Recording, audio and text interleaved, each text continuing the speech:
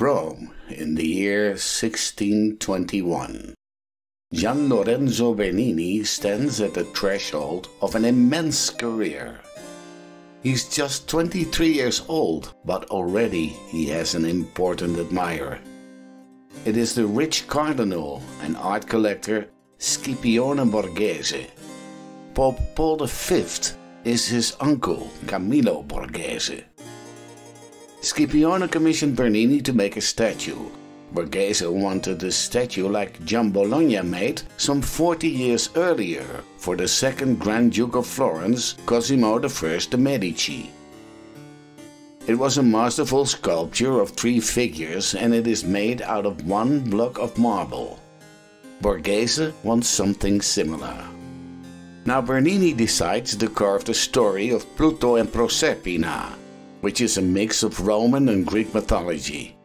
It loosely explains why there is sun and joy in spring and summer, and rain, storm, snow, and misery in fall and winter. Here's the story. This girl Proserpina was a child of Jupiter, the king of the gods, and Ceres, the goddess of corn and harvest.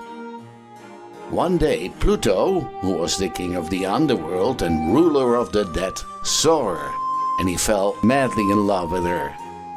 Since there was no Me Too movement in those days, he just dragged her immediately down into the underworld with him. But as soon as her mother found out what had happened, she was so sad that corn and all the other crops stopped growing. The people of the earth are hungry and many of them are about to die. This is too much for Jupiter, so he strikes a deal between the two. Jupiter decides that during six months of the year, beautiful Proserpina shall be with her mother, and the other six months in the underworld, where Cerberus the Hellhound guards the doors.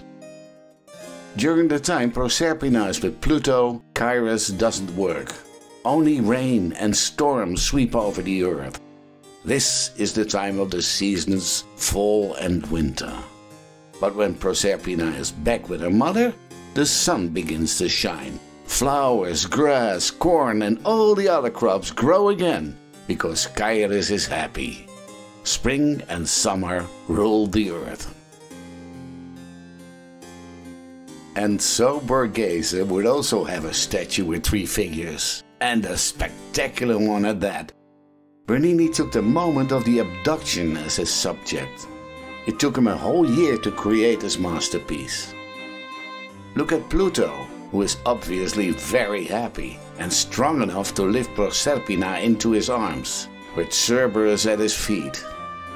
Watch the craftsmanship on the details, like the muscularity of Pluto, the fur of the three-headed hellhound, the soft flesh of the beautiful Proserpina, and the indentation Pluto makes on her legs. See the horror she obviously is experiencing, reaching for the sky, screaming for help. But Pluto is not going to take no for an answer. She is going down with him into the underworld, and there's nothing she can change about that. This and several other masterpieces can be admired in the Galleria Borghese in Rome, which was once home to one of the greatest art collectors in the world.